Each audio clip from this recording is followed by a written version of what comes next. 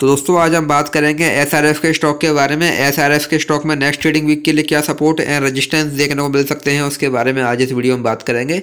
हम अगर यहाँ पे स्टॉक की बात करें तो हम देखेंगे जो ये स्टॉक है, हमको पहले यहाँ पर लगातार क्लियर डाउन ट्रेंड में देखने को मिल रहा था। पहले हमको स्टॉक में लगातार लोवर लो लोअर हाई वाला पैटर्न यहाँ पर देखने को मिल रहा था, लेकिन फिर स्टॉक ने यहाँ पर सपोर्ट लिया, जिसके बाद से अभी अगेन हमको यहाँ पर स्टॉक में लगातार तेज़ी देखने को मिल रही है।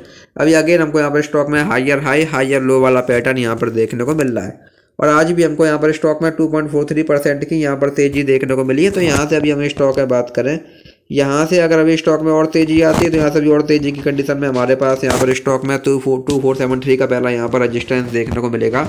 अगर स्टॉक इसको यहाँ ब्रेक करेगा देन यहाँ से हमको स्टॉक में अगेन एक बड़ी तेज़ी, एक बड़ी बाइंग यहाँ से देखने को मिल सकती है। अगर स्टॉक ने इसको यहाँ ब्रेक किया देन यहाँ से हमको स्टॉक में two five four eight then यहाँ से हमको स्टॉक में टू सिक्स वन एट और अगर स्टॉक ने इसको भी यहाँ ब्रेक किया देन यहाँ से हमको स्टॉक में again twenty seven hundred and then यहाँ से हमको स्टॉक में टू एट थ्री सेवन और अगर स्टॉक ने इसको भी यहाँ ब्रेक किया देन यहाँ से हमको स्टॉक में ट्वेंटी नाइन हंड्रेड और थ्री थाउज़ेंड तक के लेवल्स भी यहाँ पर देखने को मिल सकते हैं एज ए नेक्स्ट यहाँ पर रजिस्टेंस वहीं यहाँ से अब अगर स्टॉक में गिरावट आती है तो यहाँ से गिरावट की कंडीशन में हमारे पास यहाँ पर स्टॉक में टू थ्री सेवन फोर का पहला यहाँ पर सपोर्ट देखने को मिलेगा।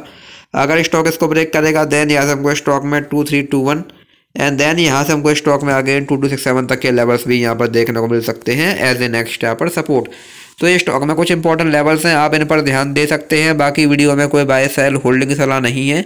वीडियो केवल एजुकेशनल पर्पज़ के लिए है। धन्यवाद।